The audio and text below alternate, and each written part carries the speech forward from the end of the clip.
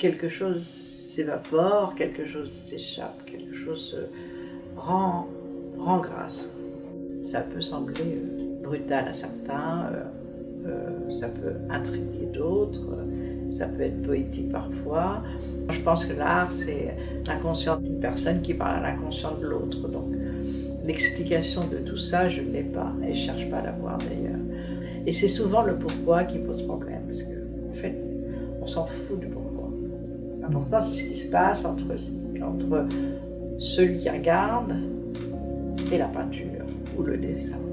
C'est ça l'important. Pourquoi je dessine?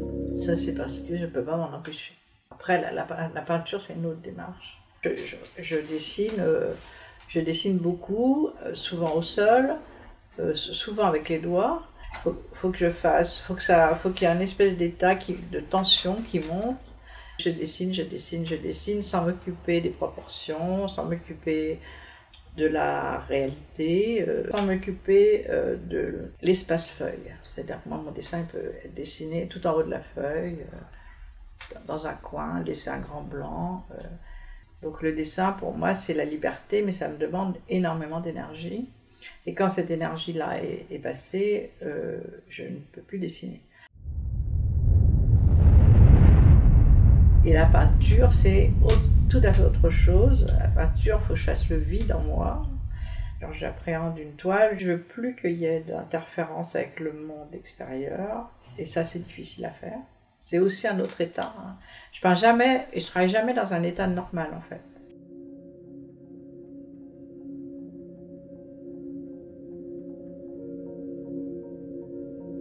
Quand je regarde quelque chose ou un objet ou un modèle, moi j'ai une sorte de... Je vois pas exactement ce qui, ce qui est quoi.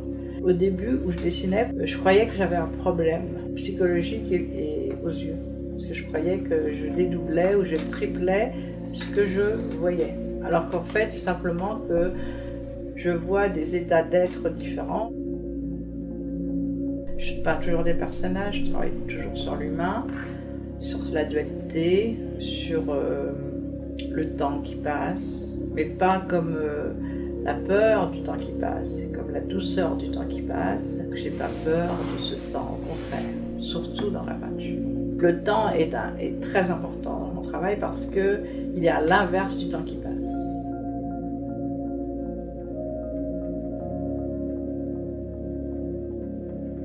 Je n'ai pas d'impatience quand je peins.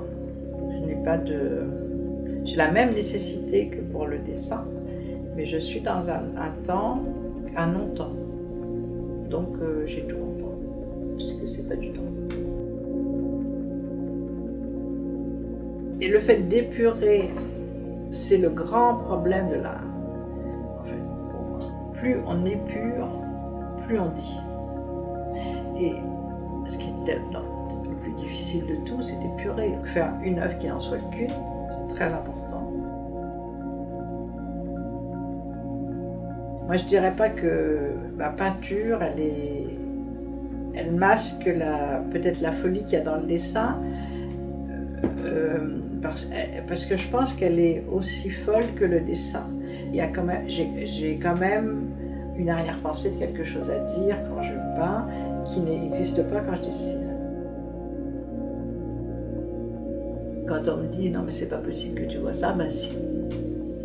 Je vois ça. Je vois le poisson, je vois sa tête qui s'ouvre, je vois des petites souris qui passent, qui sortent de sa boule. je, vois, vraiment tout ça. Donc euh, avant c'était effrayant, maintenant c'est amusant. L'animalité, c'est, chez l'être humain, elle est partout, elle est chez, tout le monde. Sauf que les, gens soit ne la voient pas, soit ne supportent pas l'animalité qu'ils ont en eux, soit le cachent parce qu'ils en ont peur parce qu'ils se disent qu'ils vont, que c'est pas normal, que c'est pas civilisé. Et moi j'aime tout ce qui n'est pas civilisé, j'adore ça. Donc j'aime les gens très animalisés. Après dans la société occidentale, euh, si vous dites aux gens qu'il a une tête de chien, il n'aimera pas. Et c'est pas du tout une c'est pas du tout une insulte. Euh, au contraire.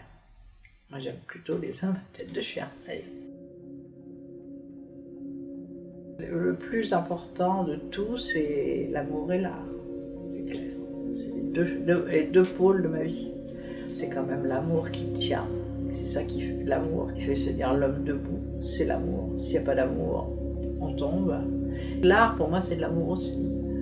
L'art, c'est quand même donner aux autres, au monde, ce qu'on a de plus précieux, de plus intime. Quand on dit s'exposer, ça veut dire beaucoup, on finit par l'oublier. Mais s'exposer, c'est quand même s'exposer soi. Parce que moi, je ne fais pas de différence entre mon art et moi.